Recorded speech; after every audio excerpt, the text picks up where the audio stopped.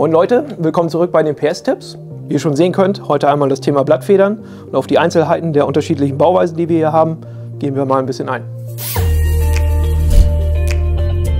So, die erste Ausführung, die wir haben, sehr massiv, wie wir schon sehen können, das ist ein sogenanntes Blattfederpaket. Die einzelnen Federelemente sind übereinander geschichtet und mit einem sogenannten Herzbolzen, der hier einmal quer durchgeht, verbunden. Das verhindert, dass sich die Federn gegeneinander in Längsrichtung verschieben. Auch haben wir hier Federbriegen, die eben das seitliche Verschieben der Federn auch äh, verhindern. Finden wir sehr oft im Baubereich, geht ein bisschen zulasten des Komforts, aber die Langlebigkeit ist eben wesentlich höher als zum Beispiel bei Luftfederung. Bei der zweiten Variante, die wir hier haben, sehen wir schon einen deutlichen Unterschied zu dem Federpaket von eben. Das Grundprinzip ist hier genau dasselbe. Die einzelnen Federelemente sind mit einem Herzbolzen verbunden.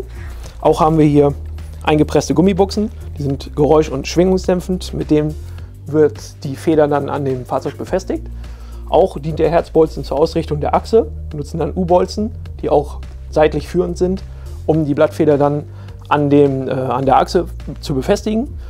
Diese Blattfederausführung finden wir häufig oder in den meisten Fällen bei Transportern. Die dritte Variante, die wir hier haben, ist wieder deutlich massiver ausgeführt.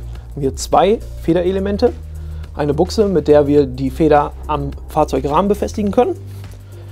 Ist eine Auflagefläche für die Achse, die hier montiert wird, auch wieder mit Herzbolzen zur Ausrichtung der Achse, zur Befestigung der Achse. Gleichzeitig haben wir hier noch eine Aufnahme für eine Luftfederung, mit der wir dann die Hinterachse anheben oder absenken können. Noch ein ganz wichtiger Tipp zum Schluss. Wenn ihr doch mal Federpakete wie diese hier austauschen solltet, achtet bitte immer darauf, denselben Federtyp wiederzunehmen, das heißt dieselbe Anzahl an Federn mit derselben Federstärke.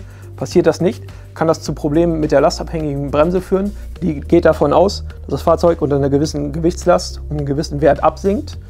Ist der Wert anders, ist die Feder anders ausgerichtet, anders ausgelegt, kann das zu Problemen führen. Falls ihr zum Thema Blattfedern oder anderen Themen noch Fragen habt, wendet euch auf jeden Fall an unseren Helpdesk. Ich würde sagen, vielen Dank fürs Zuschauen und bis zum nächsten Mal.